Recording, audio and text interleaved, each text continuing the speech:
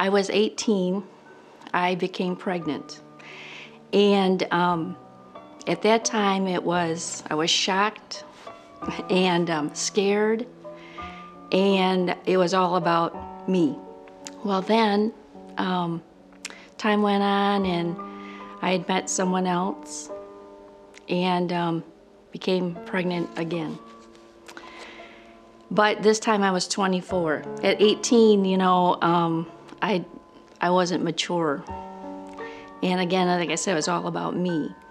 But at 20, 23, 24, um, I'm an adult now. And I believe that, you know, the Lord has put in everyone to know what is right and wrong. And so I became pregnant, and the guy that I was with, um, he wasn't ready.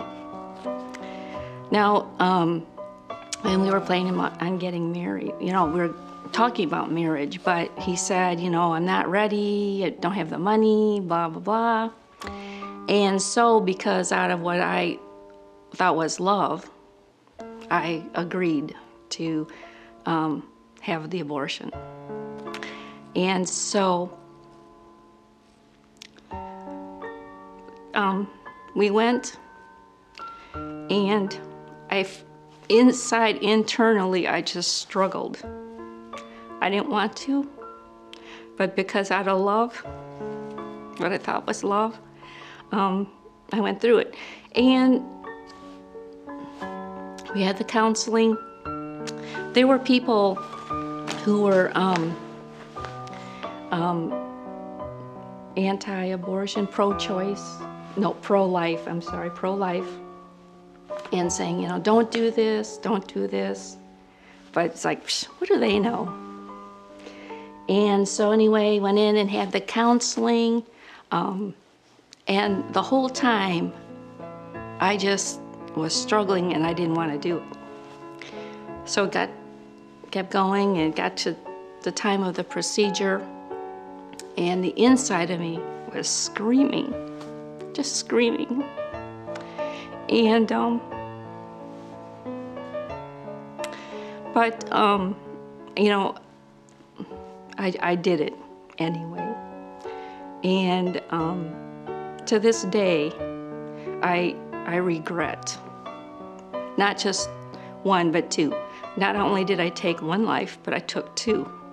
What I, I know I carried was a shame. And so as I looked up the definition, the one, the first one is a painful sense of having done something wrong, improper, immodest.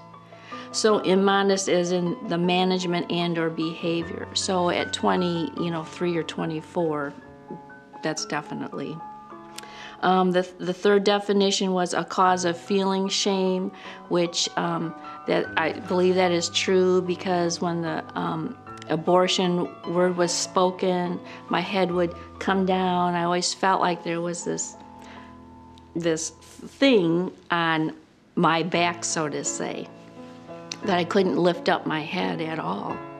And then the fourth definition was something to um, regret as an adult, here I am, and I'm still, um, you know, I'm going to say haunted by this. And if I had someone to talk to, if at 18 years old, I, after the initial shock and the fretting and everything, if I had someone that I could talk to who would have, you know, laid out the options for me, then this stuff and carrying it through my life would not have had to occur.